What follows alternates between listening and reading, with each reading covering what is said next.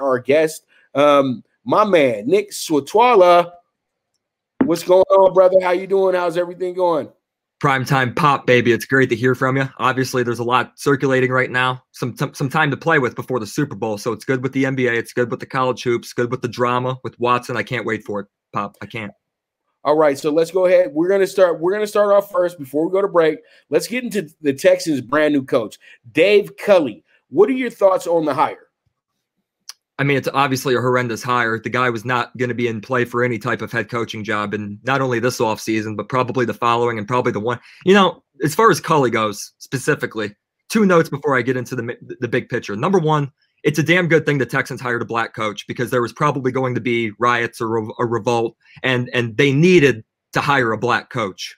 Uh, they just needed to, and I thought it was going to be Frazier. Um, I, I, at the end of the day, I understand why it wasn't uh, Bieniemy uh, for a reason I'll get to for my main point. But the bottom line is, is it's it's good that they hired a, a black coach. That's number one because there would have been outrage um, if they hired this, you know, Josh McCown, who, oh by the way, might be a great head coach down the road. But Josh McCown, I mean, he, he's just getting off the sideline. That would have not that would not have been a good look at all for the NFL if they would have went forward with McCown. So uh, from that standpoint, that's an important note based on the conversation circulating around the he- uh, head coaching search. Secondly, Culley has no business getting this job. The reason why he got this job is because no one else wants it. When the Lions fans bitch about the uh, Detroit not hiring Robert Saleh and they bring in a Dan Campbell for a six-year deal, no one's ever heard of him uh, aside from you know people that like myself watch my Jets and Joe Philbin's head coaching career in London, and in came Campbell for that interim stretch. Besides that, no one's ever heard of the guy. Um, the reason why the Lions are making the hire like that, the reason why Collins, who somehow gets a look over Wink Martindale on his own team. I don't understand that at all. But the reason why these two teams are making two horrendous, uh, unpopular, uninspiring hires is because they're two brutal jobs. And the Lions' job is bad, but the Texans' job, it's really bad because he knew what he, he was walking into. I firmly believe Saleh wanted nothing to do with it. I firmly believe Bien, you know, people talk about Bieniemy not getting the job. I haven't heard one reporter ask him if he wanted the job. And I have a, I think is smart enough to not take that job. It's a mess. Watson's going to be out the door. I think there's a couple of teams in play. And in the end, the Texans organization picked this goofball Jack Easterby over Deshaun Watson. It's you can't explain it. Well, and you know what the hire really reminds me of? This reminds me of Al Davis in the later years. And when he went ahead and he couldn't find a head coach, nobody wanted to work for the Raiders at the time. He went back into the well and he went and got Art Shell yep. of all coaches. Art Shell was the first black head coach, all that great stuff. But by this time, Art Shell had aged aged in the NFL. He's pretty much a dinosaur in the league. You know what I mean? So pretty much the Raiders go ahead and muscle out. I think maybe one to two wins that season. And I think what they're doing here is having a stopgap coach in a last second ditch effort to try to keep um, Watson here. So pretty much that's going to be our topic at hand when we get back and we're going to talk about all the head coaches and the hires as well too so you guys stay tuned we will be right back with the premier sports betting show the primetime angles with the one and only pop DiBiase the primetime capper and my main man nick satwala and we'll be right back the Viget app, where social media meets sports betting. Get the latest line movements in all major sports. Track your daily bets, daily contests, the NFL over under contest that pays out 10K in cash prizes. This is a cutting edge app that helps betting be easy. Sign up with the reference code POPDIBIASE and you will be able to watch my daily show, The Primetime Angles, as a resource to building that bankroll. Viget is available in your Apple or Google Store on your iOS or Android. The social sports betting app, Viget. Good News Only Racing Club, led by the legendary Doug O'Neill, the trainer of two Kentucky Derby winners, and I'll have another in Nyquist. Also trained two-time Breeders' Cup champ Goldencents, who are just a part of a long list of thoroughbred champions trained by Doug O'Neill. The Good News Only Racing Club has a young core of horses to look out for in Dennis's Celery, Irish Heatwave, and Notre Dame, just to name a few. Win the day every day with the Good News Only Racing Club, a proud sponsor of the NFL Bet Exchange.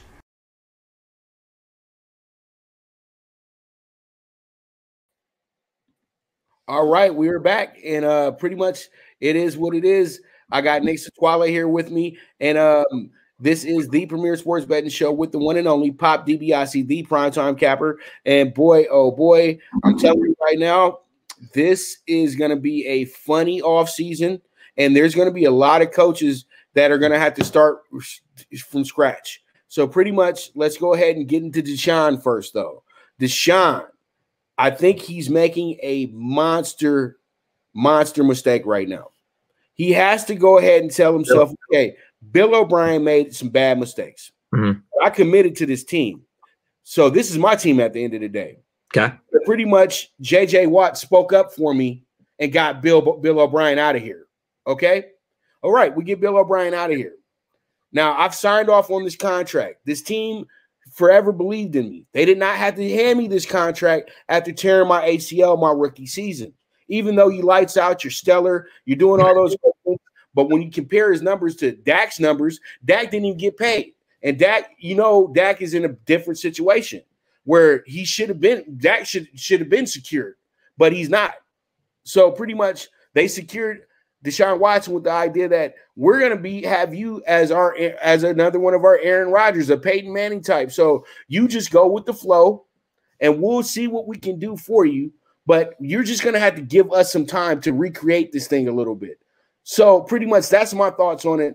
With that, I know a lot of people want to say free Watson, all that good stuff, but to me, at the end of the day, this has to be another situation where we got an NFL player acting as if he can do the same thing as an NBA player.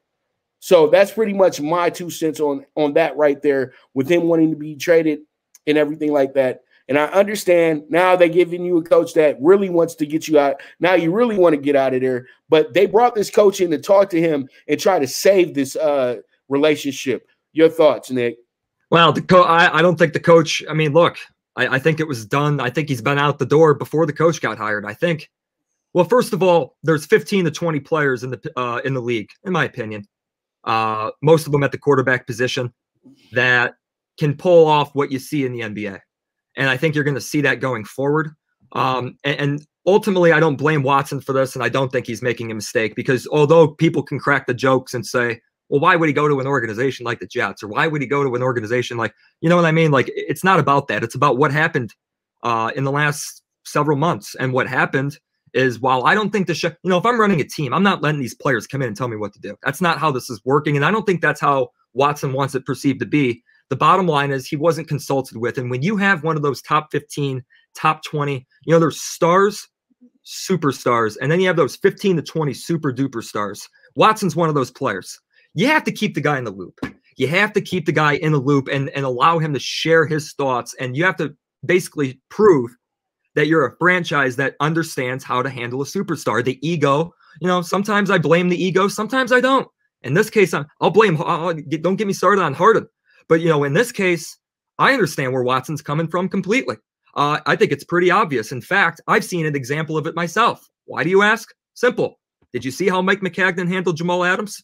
You're looking at a Jet fan here. I've seen this when a franchise doesn't handle a superstar, albeit apples and oranges as far as why, you know, he wanted out. But as far as Watson goes, I don't think he's making a mistake. I think the Texans, if you do, if you look up what has transpired in that Texans facility in that organization in the last three years, you know, it makes the Lions, the Jets, and the Bengals look functional. That's how bad it is. And that's and basically, like I said, choosing essentially Jack Easterby over Deshaun Watson is a critical mistake.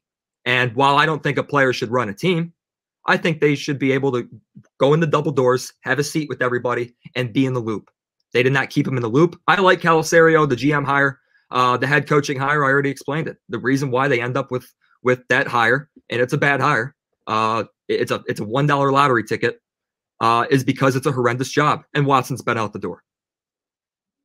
Well, I hey, I'm with you on that. But see, me as an owner GM taking him on, I know what risk I'm taking on now. If we fail, yeah. are you going to want to leave my place as well too?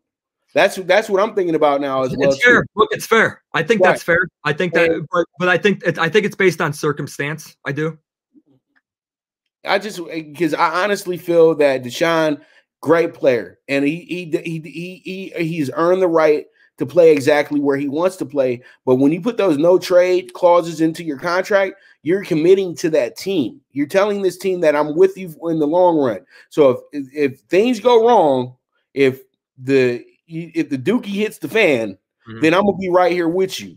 And I don't. I, the loyalty is just it. The and I know teams aren't loyal to players, but when you sign off on that no trades, you said that I'm going to be committed to anything that goes down over here. But I think though, at the end of the day, they would have been able to maybe save it if they were able to bring in the right coach. But I know they didn't bring in this coach simply because at the end of the day, we both know, and I'm gonna get let you get to your point about Bieniemy as well too. We all both know that Eric Bieniemy is right now saving himself for that Chiefs job.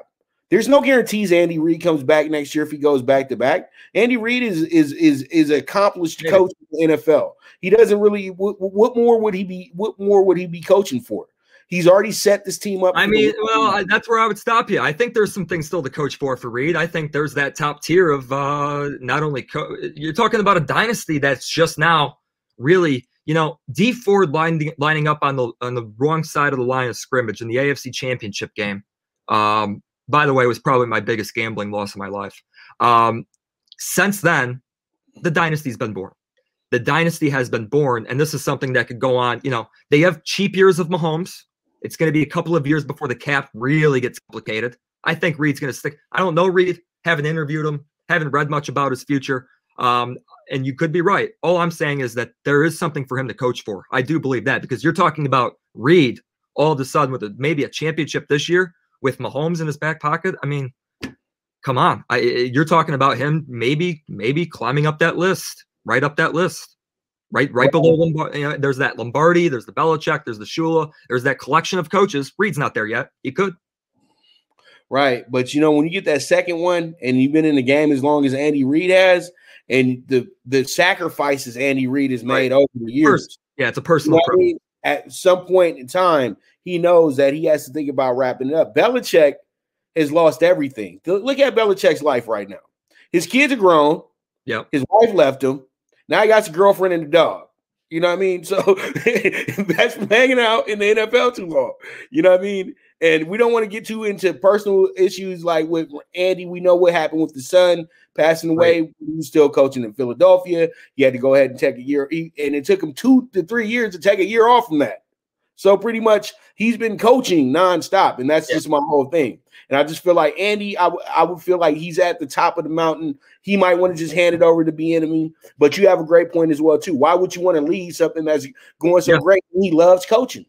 I think you the know? look the Bieniemy thing could be a good thought to the point where uh why, why I think Bieniemy might be kind of turning his head on some of these jobs. I also think Bieniemy could be turning his head on some of these jobs and by I really only mean two. Let's be honest, and maybe three because Philadelphia. Uh, the thing that people are they're, they're going outraged over the Philly hire. You have to understand the Philly hire was specifically only about saving Wentz, and Frank Reich picked up the phone